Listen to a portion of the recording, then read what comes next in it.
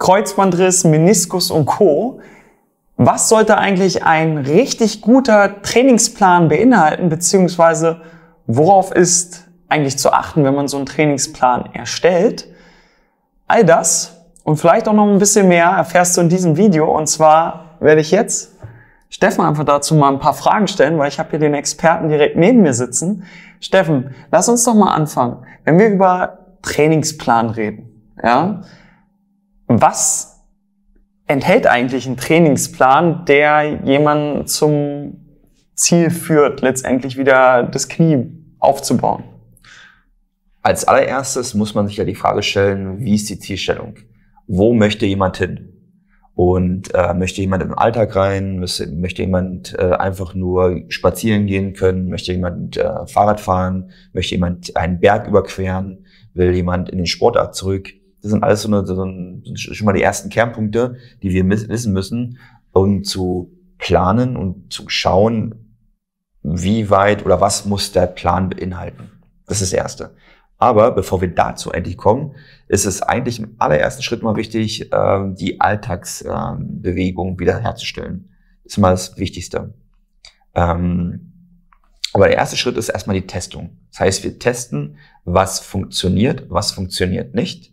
Und halt an dieser einzelnen Testungen, an diese einzelnen Testungen, ähm, machen wir unseren Plan aus. Das heißt, äh, wir schauen, kann er die Treppe hochgehen, kann er bestimmte Funktionsbewegungen wie auf, äh, auf einem Bein stehen oder äh, auf Zehenspitzen auf einem Bein stehen, kann er es belasten, funktioniert bestimmte andere Sachen.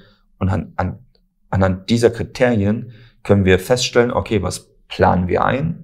Welche Parameter brauchen wir? Müssen wir schnell arbeiten? Müssen wir mit langsamen Bewegungsgeschwindigkeiten arbeiten? Mhm. Ähm, Müssen wir mit Gewicht arbeiten? Müssen wir ohne Gewicht arbeiten? Müssen wir schnell arbeiten? Brauchen wir Schnellkraftübungen? Also das ist äh, ein riesen komplexes Thema.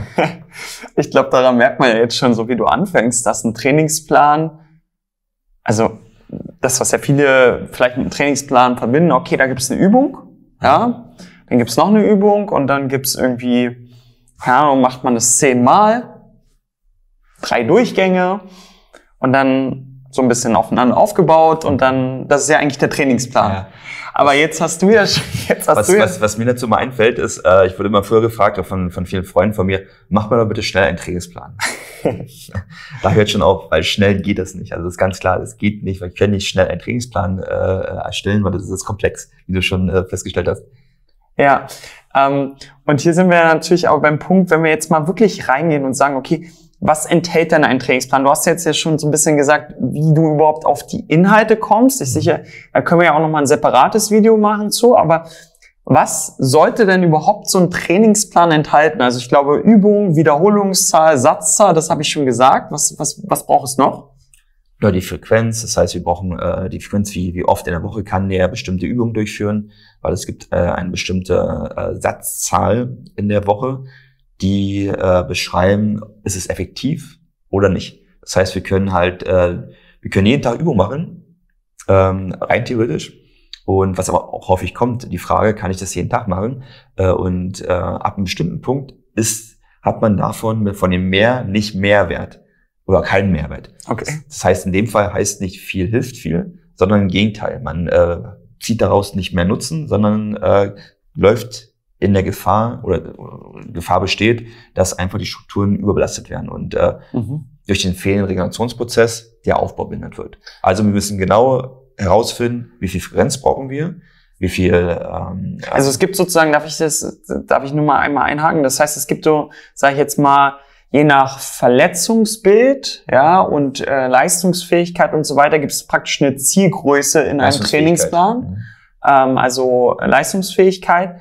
Und dann ähm, muss ich halt gucken, was für Möglichkeiten hat der Trainierende. Ist er, hat er die Möglichkeit, zweimal zu trainieren, hat er drei, viermal die Woche und dann suche ich sozusagen die ideale Frequenz, ist das richtig? Genau. Ähm, für diese Person letztendlich erstmal übergeordnet raus. Genau. Also ich okay. gucke halt, kann er zweimal trainieren, kann er einmal Bus trainieren, kann er dreimal trainieren. Wenn wir jetzt rein nur von der Kraft ausgehen, also von der Kraft, äh, vom Kraftaufbau, dann äh, ähm, könnte man mal einmal rein theoretisch anfangen und könnte überlegen, okay, er braucht so und so viele Sätze in der Woche, also muss ich ihn so und so viele Sätze in diesen Plan rein äh, erstellen. Mhm. Ob es denn sinnvoll ist, ist die zweite Frage. Okay. Ähm, weil wir ja ähm, ein Ziel haben, wir wollen Bewegungsformen trainieren. Ja. Und wenn wir Bewegungsformen trainieren möchten, ist es sinnvoller, sie öfter zu trainieren in der Woche.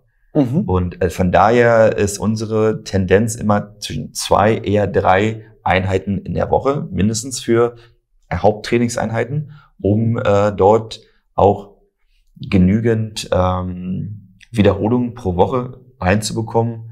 Also ähm, wahrscheinlich auch vom Nervensystem vom her Bewegung. Genau, vom Nervensystem, um halt äh, diese, diese Bewegung einfach zu erlernen. Das ist halt das, das Wichtige an der Geschichte. Okay, und so ein Haupttraining geht ja mal mindestens 45 Minuten wahrscheinlich, ne? Oder? Ja, mindestens. Also ja. schon Richtung 60, äh, 45, 60, teilweise 70, je nachdem. Das hängt auch wieder an, äh, äh, davon ab, wie belastbar ist äh, die Struktur, was kann derjenige, wie, wie stark möchte, möchte derjenige trainieren. Das sind halt viele mhm. verschiedene Parameter. Also Themen, die jetzt, sage ich jetzt mal, in so einer klassischen Physiotherapie äh, gar nicht abgedeckt werden kann wahrscheinlich. Ne? Also vom alleine vom Umfang her sehr schwer abgedeckt werden kann. Selbst wenn man jetzt wüsste, welche Übungen und so weiter stattfinden sollen, also alleine vom zeitlichen her. Ja, vom klassischen zeitlichen nicht, weil der Therapeut hat die Chance, in 20 Minuten das reinzupacken, was, was wir in 60, 70 Minuten reinpacken können.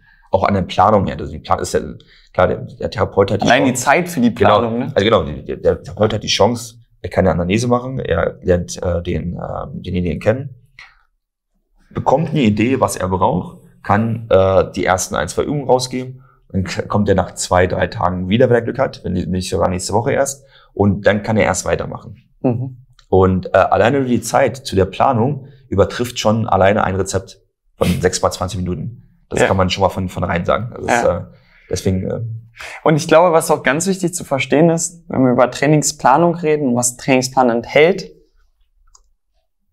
es ist immer sehr unterschiedlich. Also, also es ist ja wirklich sehr stark Person, Beschwerdebild, Funktions, Leistungsfähigkeit. Nicht unbedingt, da muss ich widersprechen, weil gerade äh, diese gerade Übungen, die dazu dienen, jemanden in den Alltag wieder zu integrieren, äh, ähneln sich oft, also sind oft die gleichen. Das ja. ist halt wichtig. Aber die Parameter dazu, das ist unterschiedlich. Das war eigentlich auch das, das ist wichtig. Die Parameter dazu, also die Übungen werden relativ gleich sein. Ähm, mit klar, man wird immer wieder individuell ähm, das, paar Sachen austauschen, aber die Frequenz, die, ähm, die, äh, die Tempoangaben plus halt die Wiederholungszahlen, die werden unterschiedlich sein. Mhm. Ja, ist ja fast so, sage ich jetzt mal, wenn wir über ein Premium-Auto reden, ja, es durchläuft sozusagen am Fließband ähnliche Schritte, aber das, was ins Auto reingepackt wird, ist unterschiedlich. Also einmal ist das Leder schwarz und es ist, es ist braun. Ähm, Wenn man es genau. So könnte man sagen, wobei wahrscheinlich auch die Verweildauer in der jeweiligen Stufe ja. natürlich ganz unterschiedlich sind. Ja. Also das heißt, äh, zusammengefasst, es gibt eine gewisse Struktur, ganz klar Kriterien, die letztendlich für jeden sehr, sehr ähnlich sind zu durchlaufen. Aber in, ich mache mal das Beispiel im Beratungsgespräch sehr gerne. Es gibt halt einen Rahmen, der ist vorgegeben und in diesem Rahmen wird ein individuelles Bild gemalt, letztendlich. So finde ich es eigentlich mit am verständlichsten. Mhm. Okay. Ähm, das heißt, wenn wir über Trainingsplan reden, ähm, es ist jetzt für einen Laien relativ schwierig wahrscheinlich, das dann, also allein von dem, was du jetzt so erzählt hast, äh, nahezu unmöglich einen guten Trainingsplan zu erstellen, auch wenn er jetzt irgendwie die Top 5 Videos recherchiert äh, ähm, nach einem Kreuzbandriss und so weiter, dann ist die Übung an sich gar nicht das, was ihn zwingend zum Ziel führt, sondern ist nur ein kleiner Teil des Ganzen, richtig? Ja, man muss vor allem auch rausfinden, was hilft denn überhaupt damit. Es bringt ja nichts, sich einfach mal drei, vier, fünf Übungen aus dem Netz rauszuziehen und dann die äh, nachzuvollziehen oder nachzutrainieren, weil das ist ja relativ easy. Ähm, das Wichtige dabei ist aber eigentlich herauszufinden, wo sind meine Defizite hm. und die dann gezielt zu trainieren. Zum Beispiel kann ich eine bestimmte Bewegung nicht ansteuern. Bringt es das nicht, einfach eins zu eins dort äh, das äh, zu trainieren, sondern du musst bestimmte Parameter einhalten, wie zum Beispiel einfach die Bewegung richtig langsam äh, exzentrisch abbremsen zu lassen. Das ist ein kleines Beispiel. Ähm, viele gehen da einfach rein und viele, äh, nur ein Beispiel, viele, viele kennen es, man will sich mit einem Bein hinsetzen und äh, man äh, nimmt sich eine Sitzhöhe und fällt die letzten 20 Zentimeter einfach so klack runter. Ja.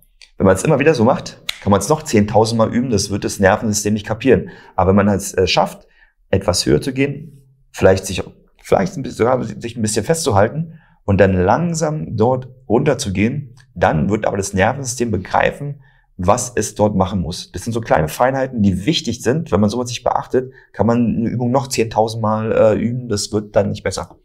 Mhm. Okay, ich sag mal so, ich fasse gerne nochmal zusammen, was ich rausgehört habe. Ein Trainingsplan ähm, ist eigentlich eine komplexe Sache. Ähm, also aus Übungen, Frequenzen, wie damit zusammenhängend, Wiederholungen, Intensitäten, ähm, Funktionsfähigkeit, ja, also welche Kriterien erfüllst du schon, welche Kriterien erfüllst du nicht. Und, Und vor allen Dingen Belastungsfähigkeit. Belastungsfähigkeit, ja. Ähm, ja, und wenn du jetzt sagst, hm, okay, das heißt, ich brauche vielleicht professionelle Unterstützung. Also du hast auch jetzt für dich den Impuls, dass du sagst, okay, klingt irgendwie spannend, die Themen, die ihr hier angerissen habt und ich möchte gerne auch mal wissen, wie das Ganze für mich funktionieren kann, damit ich eben Schritt für Schritt mehr Funktionsfähigkeit aufbaue. Also je nachdem, wo du gerade steckst. Also ob du noch, sag ich jetzt mal, Probleme hast, überhaupt vernünftig sauber zu gehen nach einem Kreuzbandriss oder ob du prinzipiell alltagsfähig bist, aber Probleme hast, in die Sportlichkeit reinzugehen. Also ich sag jetzt mal, du hast das Ziel, zum Beispiel joggen zu gehen, hast schon mal Joggingversuche gemacht und äh, hast gemerkt, das funktioniert noch alles nicht so richtig. Dann lade ich dich auf jeden Fall mal ein, mit uns äh, ein kostenloses Beratungsgespräch zu machen weil dort äh, gehen wir einfach nochmal gemeinsam rein und schauen, was könnte für dich der ideale Weg sein. Und wenn sich das dann gut für dich anfühlt, dann äh, sehen wir uns bald vielleicht auch schon wirklich in, im Rahmen einer Zusammenarbeit. Und äh, ja, wie gesagt, wenn es spannend für dich ist, geh einfach mal auf www.knieathletics.de und ja, sicher dir deinen Termin für ein Beratungsgespräch. Ich freue mich auf dich oder besser gesagt, wir freuen uns auf dich.